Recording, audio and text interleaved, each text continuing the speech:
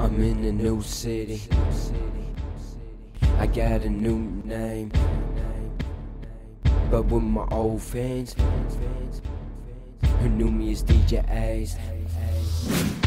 I gotta let you know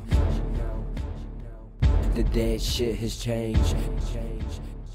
So from now on, you can call me Great Dane.